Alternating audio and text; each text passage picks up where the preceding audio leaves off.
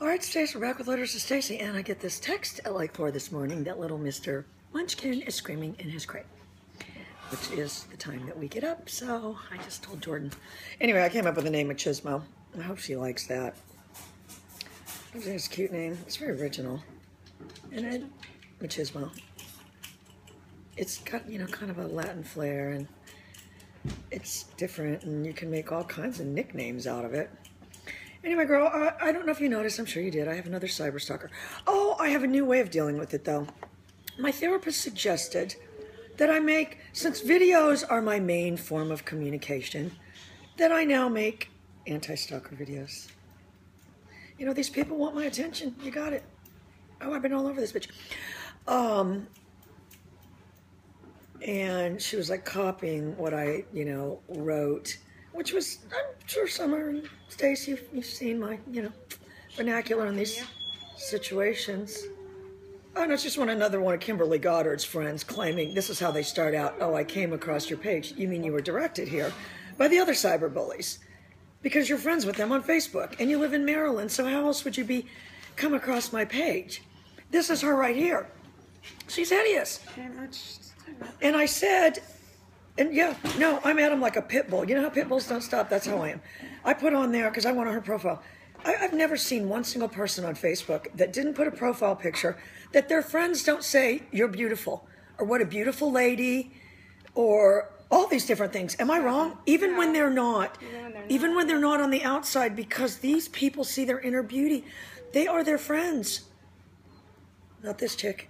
I've never seen anyone Oh, one friend on there went said, "Oh, I don't like your Miami hair." So maybe who knows? Maybe this chick. I don't know. But anyway, this is the video I made. Uh, cyberbully, bad person. I don't go on their page. I go on YouTube, and they come on my page. And the upside of this, Stace, is that Fiddy is going to be able to take the dialogue from my response to the stalker and like make a really hit rap song. Am I wrong? What are you doing?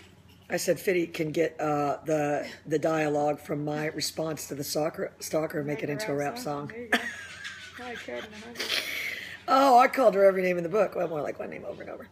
Anyway, so um, oh, Breck read it. He thought it was great. He goes, "You really let her have it."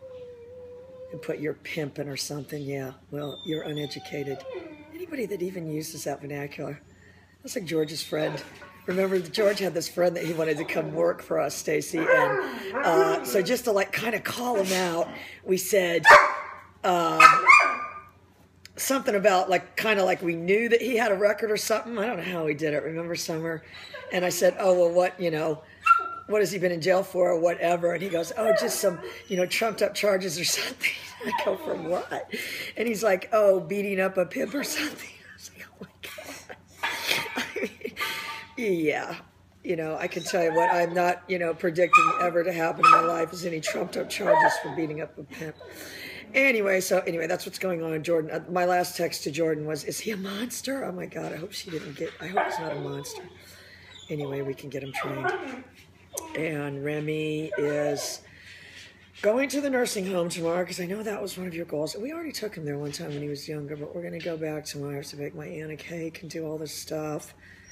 You know, honestly, it's ridiculous. I have to devote any amount of energy uh, to these cyber bullies. But now, this is Summer's favorite part of the show.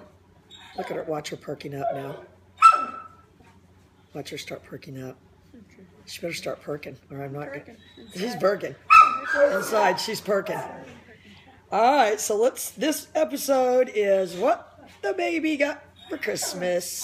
Oh, she's really perking now. I got you a Christmas present yesterday. She's perking. Look at her. All right, so this is all the stuff he got. Baby animal feel book. What do you mean? Oh, he got all that stuff. This baby animal touch and feel the very dangerous Power Wheels little quad. Aww. What little baby wouldn't want that? That's, that's awesome. Oh, it has a little battery and everything. Yay. All right, but wait, no. Aww. But wait, wait. Cause yeah, I don't, knows how to ride him too. How does he know how to ride it? Because Cheyenne got one for her birthday and he got on it and he already knew how to ride it. All right, we'll forget about that. Then we got this little baby laptop. And since Summer always gives the baby her phone and he sets it down in Winn Dixie and stuff and then it's lost. Uh, he got this baby phone. You just make sure you go everywhere with your phone and the baby phone. And baby's first hundred words. Oh, but wait. Oh, and then I got Fire Stick TV. I'm going to have to find someone that has that so what they is, can you show me. me about that. Well, you just That's it? plug that into the TV. Now I got Amazon on my TV. Oh, sweet. And, but wait, I got this baby helmet to go with the. I don't think it might not get here by Christmas, so you better not let them. Anyway, you can't see it. This is what I got my mom. Oh, this is what I got my sister because she wanted a dog. That was all.